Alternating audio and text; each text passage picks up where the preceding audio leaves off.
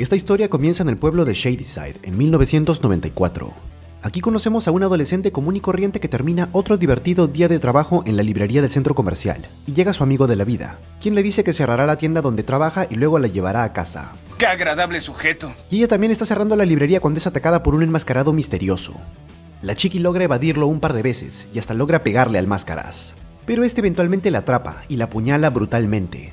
Antes de morir, la chiqui descubre que el asesino no era otro que su buen amigo.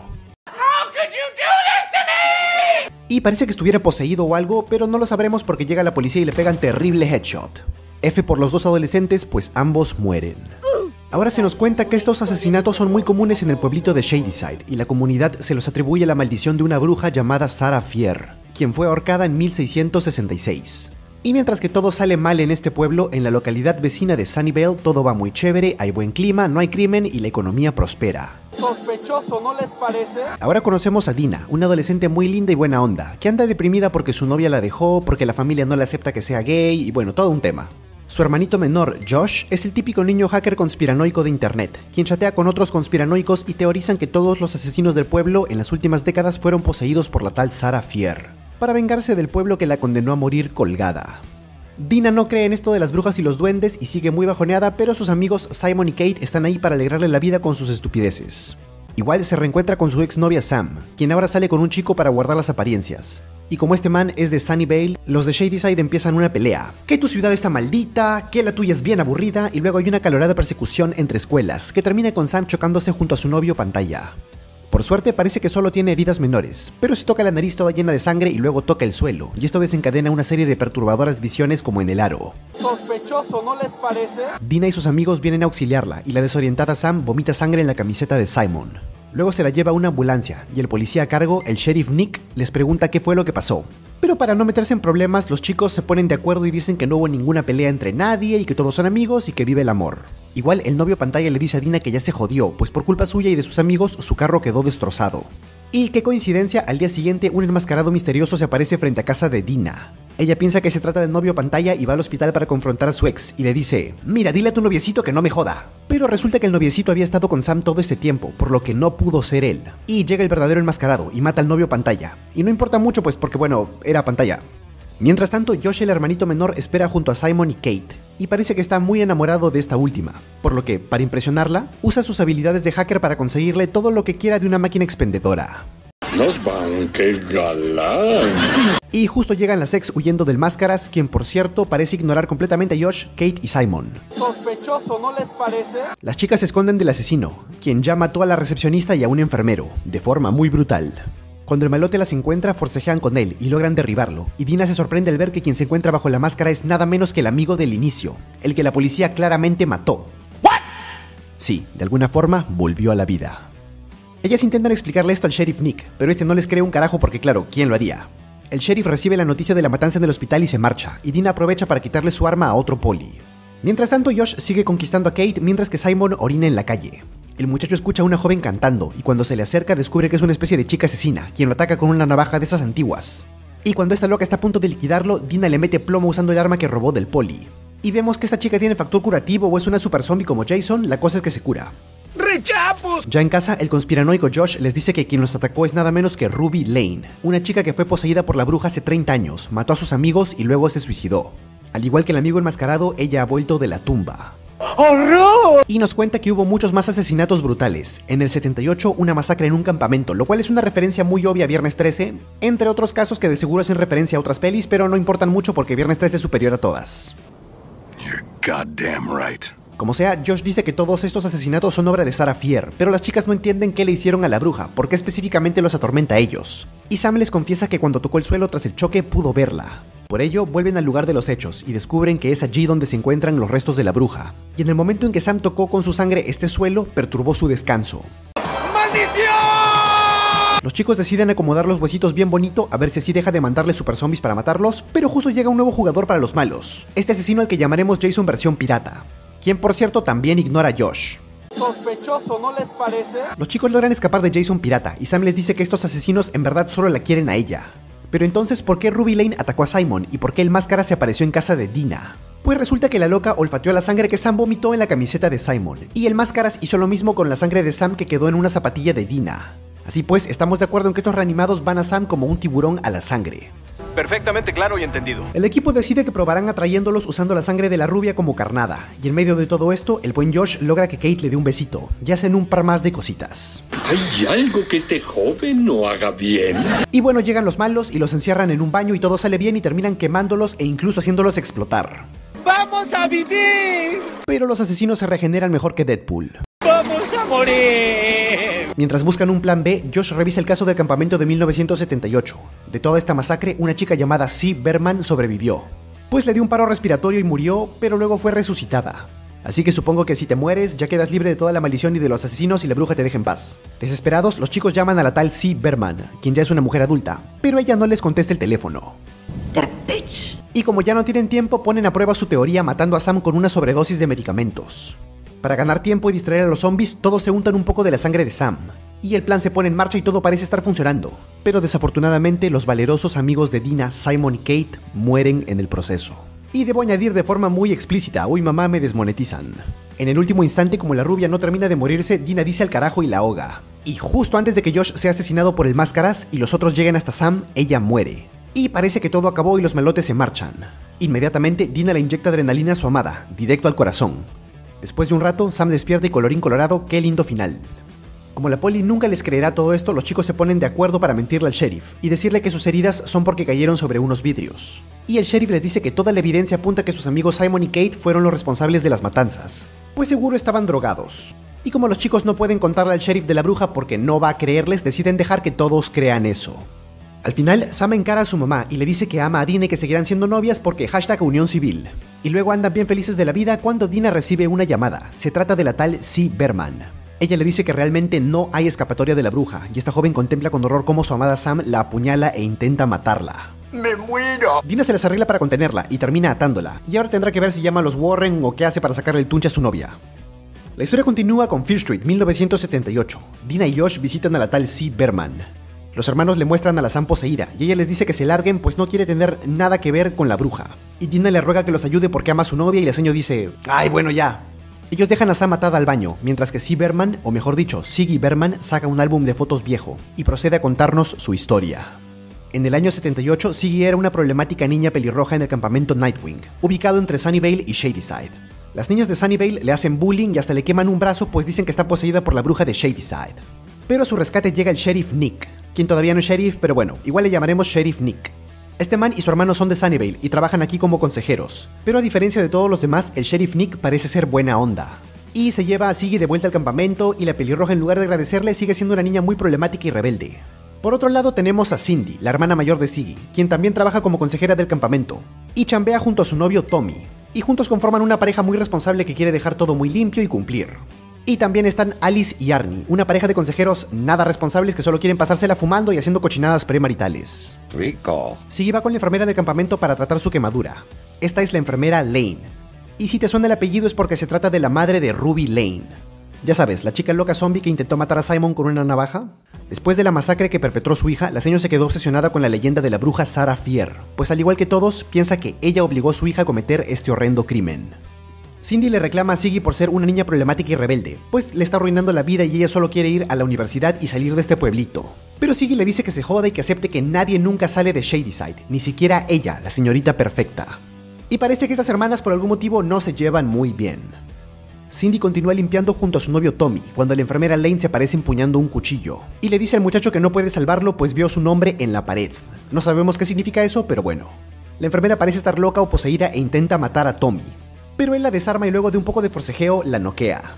Cindy le pregunta a un oficial de policía por qué la enfermera actuaría de esta forma, si solía ser tan buena onda. A lo que el mister responde que la seño simplemente enloqueció, tal como su hija. Para entender bien qué fue lo que pasó, Cindy le pregunta a Siggy si vio algo raro en la enfermera.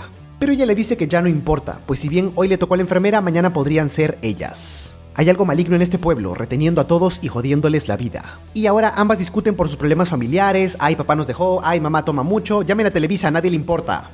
Cindy y Tommy se meten en la enfermería para ver si la señora había estado tomando drogas y por eso actuó así. Pero en su lugar encuentran un libro sobre la bruja Sarah Fier, quien hizo un pacto con el diablo cortando una de sus manos, para así poder atormentar estas tierras por siempre.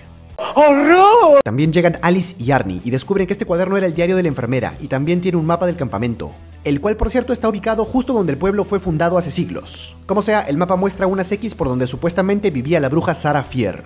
A todo esto, Tommy se siente muy mal y cada vez se le ve peor y más mareado. Alice encuentra agujeros en la tierra y repasa la leyenda de Sarah Fier. Supuestamente esta maldición no se detendrá hasta que alguien una su mano cercenada a su cuerpo. Y parece que es por esto que la enfermera andaba acabando este lugar, en busca de la mano de la bruja para ponerle fin a la maldición que hizo enloquecer a su amada hija. Bajo tierra, los jóvenes se encuentran en el cuarto de rituales de Sarah Fier y las chicas siguen a otra habitación, donde se encuentra un altar de piedra con la marca de la bruja. Aquí ya se han escrito los nombres de todos los asesinos que Sarah Fier ha poseído en la historia. Y las chicas contemplan extrañadas que al final de la lista se encuentra el nombre de Tommy. Así es, y si estuviste prestando atención a su vestimenta, ya sabrás que este noble muchacho termina de ser poseído. Toma un hacha y se convierte en el Jason versión pirata que vimos en la peli anterior. Él es el asesino del campamento Nightwing. Procede a matar a Arnie a hachazos y las chicas huyen horrorizadas. Cindy escucha una voz susurrándole en dirección de los libros, y allí descubre un pasaje secreto, el cual les permite a ella y Alice escapar del poseído Tommy, a quien seguiremos llamándole Jason Pirata. El túnel se colapsa y Jason Pirata debería haber muerto aplastado, pero sabemos que los poseídos no mueren tan fácil. Y vemos al muchacho emerger de la cueva y prepararse para matar campistas. Las chicas se ven atrapadas sin ninguna posibilidad de salir, y ahora Alice entiende por qué la enfermera Lane intentó matar a Tommy. Ella encontró su nombre en la piedra de la bruja e intentó detenerlo antes de que estuviese poseído. Y ahora discute bien feo con Cindy, pues su novio partió al suyo por la mitad con un hacha y como que esta situación es un poco incómoda, ¿no? Mientras tanto, sigue se hace amiga del sheriff Nick y juntos le gastan una broma pesada a la niña que le sea bullying. Ah, qué tierno es el amor juvenil. Y por otro lado llega Jason pirata y se topa con un campista gordito y lo deja peor que a Chuleta, pero todo bien porque sigue y el sheriff Nick se coquetean inocentemente y comparten su primer beso. Ah, juventud divino tesoro. Cindy y Alice caminan por esta cueva y llegan hasta una especie de masa asquerosa que parece un monstruo de Resident Evil. Y aunque esto claramente es peligroso, Alice lo toca. Y ahora tiene visiones de todas las personas asesinadas por los secuaces de Sarah Fier, y entra en pánico y sale corriendo y termina rompiéndose el tobillo. Y por eso chicos, nunca se droguen. Siggy y el sheriff Nick contemplan horrorizados al gordito muerto, y Nick junto a otro consejero reúnen a los niños en el comedor, y como faltan varios, salen a buscarlos. Mientras tanto, Jason Pirata mata a una consejera marihuana y ahora protagoniza una escena donde los niños lo reconocen como su querido consejero, pero él se muestra muy maligno y los asesina. Uy, qué buena referencia a Anakin matando niños en el episodio 3. Cindy le acomoda el hueso a Alice, y hacen las paces y hablan de cosas muy profundas y filosóficas y siguen caminando hasta un punto donde la cueva se conecta con los baños del campamento. Ellas gritan por ayuda y Siggy las escucha. Con ayuda de otro consejero, la niña problemática intenta subir a Alice. Pero justo llega Jason Pirata y decapita al amigo. Las chicas se quedan atrapadas ahí abajo, mientras que el sheriff Nick encuentra a Siggy y le dice que debe irse con él, pues todos abordarán un bus para escapar del campamento. Pero llega el buen Tommy y los acorrala, y por proteger a su chiqui baby, Nick recibe un hachazo en la pierna. Igual le grita a Siggy que escape. Ella sale corriendo y grita por ayuda, pero el bus con todos los campistas ya partió. Así que pues... ¡Ya se cagó, ya se jodió! Las amigas deben encontrar otra salida de la cueva, y Alice le dice a Cindy que siga sin ella, pues con la pierna rota solo va a retrasarla. Y también le dice que no se preocupe, que ella le seguirá el paso a su ritmo. Alice vuelve a leer el diario de la enfermera, y nota que está sentada justo en la tal piedra del diablo, donde Sarah Fier hizo su ritual. Y Cindy llega hasta un ducto que comunica las cuevas con el comedor, y se pone a patear la rejilla para poder salir. Siggy es acorralada por Jason Pirata, y este intenta asfixiarla y la niña se defiende usando un saco de papas. Y ahí se lo deja y es así como nuestro amigote obtuvo su plagiosa pinta. Bueno, este man está a punto de asesinarla cuando llega Cindy mamadísima con el dolor de su alma apuñalando a su amado Tommy. Y parece que sí funciona y este cae muerto. Las hermanitas tienen un tierno reencuentro y hay muchos abrazos y también llega Alice sana y salva. Ella les cuenta a las hermanas que por fin encontró la mano perdida de Sarah Fier. Así que si corren al árbol donde esta fue colgada y entierran la mano junto al resto de su cuerpo, toda esta maldición por fin acabará. Siggy sangra sobre la mano y tiene horribles visiones y dice que logró ver a la bruja y que se encuentra muy enojada. Y vemos que en las cavernas esta cosa tipo Resident Evil construye a otro asesino, y el buen Tommy es reanimado. Y las chicas se están preparando para ponerle fin a este asunto cuando Tommy llega y mata a Alice. Y Cindy se empincha muchísimo porque acababa de hacer las paces con su amiga y usando una pala y el poder de la ira decapita a su exnovio. ¡Diablos, señorita! Pero no hay tiempo para llorar la partida de Alice, pues desde la cueva llegan Ruby Lane y otros asesinos que aún no conocemos. Las hermanas cavan rápidamente bajo el árbol, pero descubren que aquí no está el cuerpo de Sara. ¡Mierda! Y solo hay una piedra que dice La bruja vive por siempre. Y allí viene Tommy, que de alguna forma tiene cabeza otra vez. Bueno, Cindy le dice a su hermana que como ella sangró sobre la mano, de seguro los zombies van tras ella, por lo que le dice que corra. Y esta valiente muchacha es asesinada a hachazos por su ex poseído, mientras que Siggy es atrapada por un cartero zombie quien la apuñala hasta causarle un infarto respiratorio. Es en este momento donde Siggy muere. Pero el sheriff Nick llega justo a tiempo para practicarle primeros auxilios y por suerte la niña es reanimada. Y tristemente Cindy no. Bueno, ella la agarraron a hachazos, ¿no? Tampoco sería muy lógico. La cosa es que el buen Nick no le creyó a Siggy cuando ella le dijo que todo esto había sido obra de la bruja, y solo le dijo a la policía que Tommy enloqueció y ya. Y así, estos jóvenes enamorados nunca más volvieron a verse. Ah, la tragedia de amar joven. Bueno, Siggy les dice a Dina y Josh que no hay forma de parar la maldición, pero ellos le cuentan que encontraron el cadáver de Sara, y como ella sabe dónde está la mano, juntos ahora sí que pueden ponerle fin a todo esto. Los hermanos se dirigen al mall del pueblo, donde antes estaba el campamento, y allí cavan y cavan y ¡Epa, la mano, qué bien! Siggy llama después de años al sheriff Nick para pedirle ayuda. Y Dina se dirige al sitio del cadáver de la bruja y junta la mano al cuerpo y parece que por fin acabó la macumba. Solo que ahora parece revivir los recuerdos de Sarah Fier en el año 1666. Esta historia llega a su final en Fear Street 1666. En este año, el pueblo de Shadyside aún no es un pueblo, sino más bien un establecimiento llamado Union. Y vemos que Dina de alguna forma es Sarah Fier, o sea, se está viviendo en sus zapatos. En este tiempo, Sarah aún no es conocida como una bruja, y de hecho es muy querida por todos en el lugar. Y miren, ahí están los antepasados de todos. Por ejemplo, de Cindy y Siggy, de los difuntos Kate y Simon, de la rubia Sam, y hasta del poseído Tommy. Este man, por cierto, es un borracho y loco llamado Thomas, quien le dice a Sara que ve oscuridad en ella. ¡Fuera, borracho! También conocemos al antepasado del sheriff Nick. Como su contraparte del futuro, este sujeto es muy buena onda, pero ha sufrido muchísimo. Perdió a su esposa e hijo, y aunque trabaja su tierra muy duro, parece que esta no es fértil, así que básicamente todo le sale mal. Pobre cosita fea. Sara y sus amigas se meten a la casa de una curandera bruja local, quien es el antepasado de la enfermera Lane.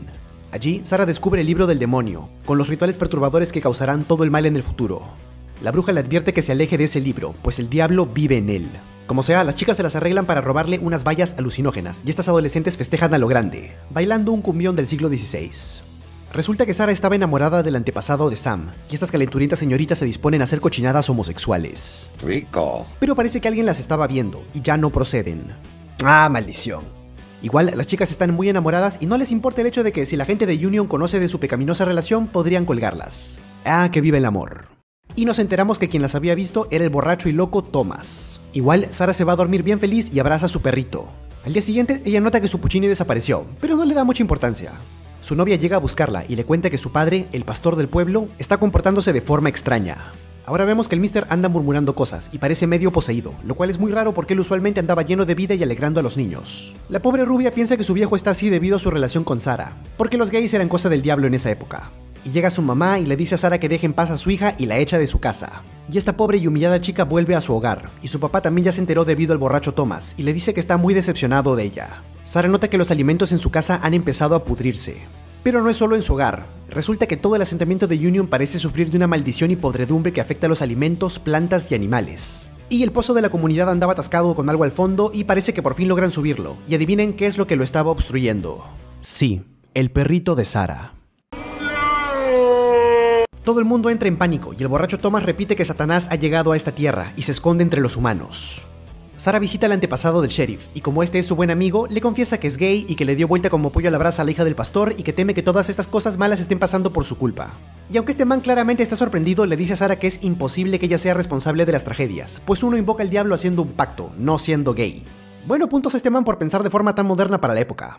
¡Qué agradable sujeto! Pero el pastor termina de alocarse y se encierra en la capilla con los niños del pueblo, y todos fuerzan las puertas, y cuando por fin logran ingresar, el antepasado del sheriff descubre con horror que el pastor se ha quitado los ojos, pues dice que así por fin puede ver con claridad, y lo que es peor aún, también se los arrancó a los niños. ¡Desgraciado! El mister intenta atacar a Sara, pero el antepasado del sheriff lo detiene y le pone fin.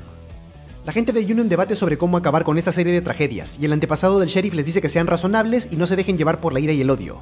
Pero, ¿te acuerdas del novio pantalla de Sam, el que fue asesinado por el máscaras? Pues su antepasado también quería con el antepasado de Sam y como ella lo rechazó porque es gay, este idiota inventó que la vio junto a Sara teniendo sexo con el mismísimo diablo. ¡Wow! Y como toda esta gente es ignorante e impresionable, le creen. Además, el borracho Thomas corrobora que las chicas sí andaban en cositas pecaminosas. Así, estas amantes son perseguidas y la rubia es capturada y encarcelada, y decretan que sea ahorcada al amanecer. Sara regresa para intentar liberarla, pero la chica está toda encadenada y le dice que huya, pues aunque no son culpables de nada, a los ojos de la gente de Union ambas son brujas y serán colgadas por ello. Sara escucha esto y decide que, si esta gente intolerante y estúpida tanto quiere brujas, ella les dará una. Por lo que vuelve a la casa de la curandera esa, para tomar el libro maldito y hacer un pacto con el diablo. Pero descubre que la curandera está muerta. ¡Me muero! Ella corre a contarle esto al antepasado del sheriff, quien aún a pesar de todo cree en su inocencia. ¡Qué agradable sujeto! Sara le dice que alguien en Union ha usado el libro para hacer un pacto con el diablo. Pero justo llega la turba enojada a revisar la casa de este man y él le dice a Sara que se esconda. Ella encuentra una serie de puertas y pasajes, los cuales la llevan a una cueva. Mm. Allí, Sara se topa con restos de animales, una piedra que ya conocemos bien, mucha sangre y el infame libro. Sí, todo este tiempo el responsable fue el antepasado del sheriff. Sucede que el mister era bueno y todo, pero se cansó de que todo le vaya mal, y se le muere la familia y la tierra no le produzca, así que vendió su alma al diablo. Él le dice a Sara el clásico discurso de únete a mí, somos iguales, pero ella lo apuñala y huye. Sara llega hasta lo que parece ser una salida e intenta escalarla, pero el antepasado del sheriff la detiene y forcejean y como la chiqui no se deja, este man termina cortándole la mano. Y entendemos que, en realidad, Sara nunca cortó su mano como decía la leyenda. La verdad es que se la mocharon. Esa es una historia de origen brutal. Como sea, Sara igual logra escapar. Ella se arrastra hasta encontrar un punto que conecta la cueva con un edificio del pueblo y camina como puede hasta el exterior. Pero el antepasado del sheriff la toma del pelo y les dice a todos que ha encontrado a la bruja. Los pueblerinos la llevan junto a su amada para que ambas sean ahorcadas, y como nadie va a creerle lo que vio, ella decide echarse la culpa de todo el asunto, para así salvar la vida de su novia. Ella es la persona más pura y más buena que he conocido nunca. Antes de ser ahorcada, Sara le dice a este desgraciado que la verdad se sabrá, quizá no hoy ni mañana, pero algún día, y que hasta entonces ella seguirá atormentándolo. Así, Sara Fier es colgada y muere en nombre del amor, y vemos imágenes de la verdadera Sara Fier, porque claro, esta solo era Dina reviviendo sus recuerdos. Como sea, sus amigos la desentierran más tarde y se llevan el cuerpo y en su lugar dejan una nota que dice irónicamente, la bruja vive por siempre. Y esto fue lo que encontraron Cindy y Siggy en el año 87. Como sea, los amigos y novia de Sara mueven el cadáver a otro lugar donde nadie le encuentre, y le dan santa sepultura. Más tarde, este lugar se convertiría donde Sam se chocó en la primera peli. La bruja no buscaba atormentarla, sino mostrarle sus recuerdos, y que la verdad se sepa. Ahora estamos de vuelta en 1994, y Dina ya sabe toda la verdad. Pero justo llega el sheriff Nick y ella se esconde junto a su hermano Josh y le dice que el alguacil de policía está detrás de todo. Los astutos adolescentes distraen al sheriff y se roban su auto. En el camino, Dina le explica que los Good, o sea la familia del sheriff, han estado sirviendo al diablo generación tras generación, dándole nombres de los pueblerinos de Shadyside y dejando que los posea, haciendo que estos maten en su nombre y lo alimenten con la sangre de sus víctimas.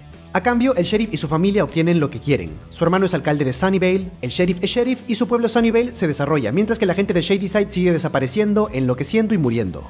Y todos estos reanimados han estado atacando para proteger el secreto del sheriff y que la sangre siga llegando.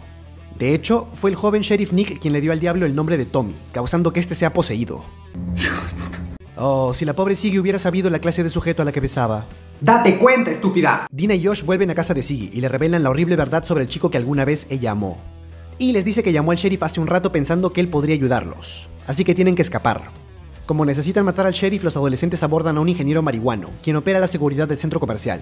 Él les explica cómo cerrar las rejas de cada tienda y luego les pregunta si de veras quieren matar al sheriff. Y en vez de darle todo el contexto le enseñan a Sam toda poseída y él entiende que dicen la verdad. Y ahora como los muertos irán tras Dina, pues ella es la que sabe la verdad, botan un poco de su sangre en un balde, la diluyen y la ponen en pistolas de agua, con las cuales dejan un rastro que los asesinos puedan seguir, para así dejarlos dentro de las tiendas y encerrarlos. Y el plan funciona a la perfección y los malotes no tienen interés alguno en ninguna de estas personas, solo en la sangre. Y uno a uno son encerrados.